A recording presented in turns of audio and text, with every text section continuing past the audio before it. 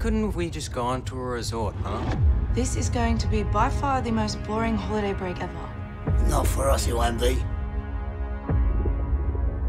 Finally here. Look at how young you looked. No, I can see us retiring out here. Oh, Mom! You're up? I said I don't want to. We're here for 10 days. You can stay here and sulk, or you can come out and have fun with the rest of us. All I'm asking is for you guys to try to enjoy yourselves. Ricky?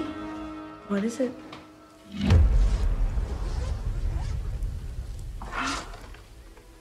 Is that?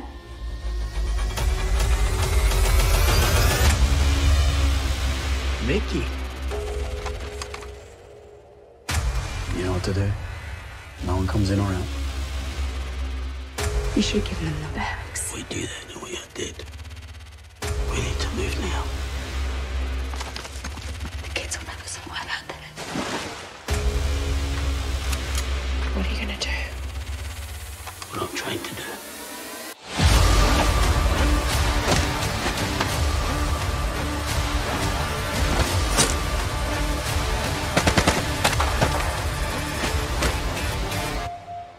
You keep our family safe.